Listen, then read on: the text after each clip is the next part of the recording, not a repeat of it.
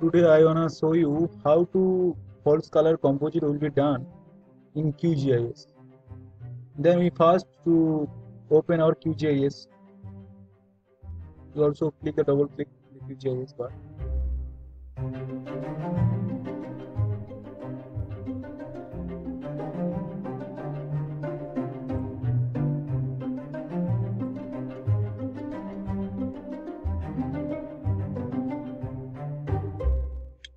The opening process will be the open the QGIS then we first also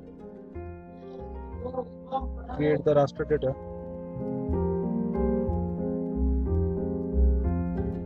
And also select the file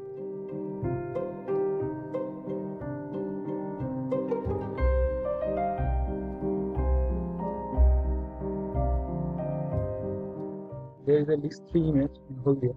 There are the some picture of the LISS 3 image. Sorry, please go to the images satellite.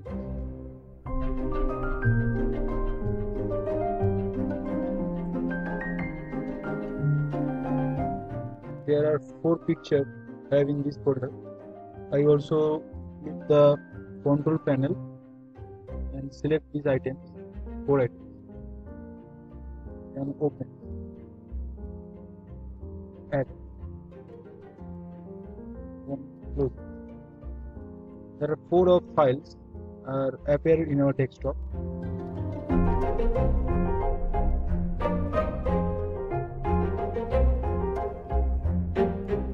Then we also go to the raster and going the miscellaneous. And first item the bool virtual raster we also click then the some parameters we open our desktop and then we also also click this toolbar and also select all. Okay. Then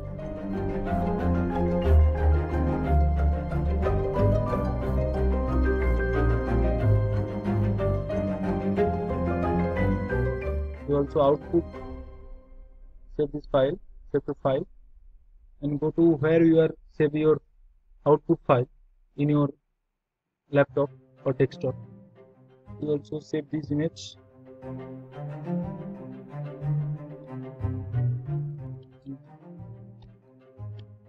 LISS 3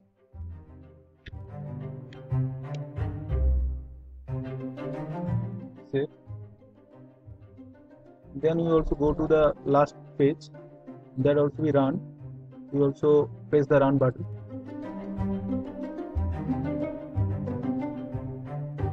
Also then I will close there the uh, some picture will overlay. And we also the click the virtual layer virtual. We also click the right click. And also the properties will happen with us. And properties right click. And there will be some bands will be changed to make a false color composite.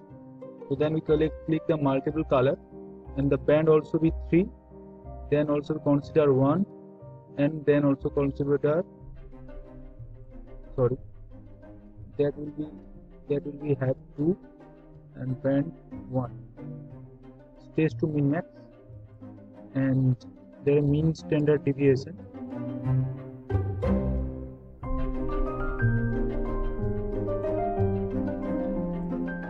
apply and just open. There we'll have to see our false color composite.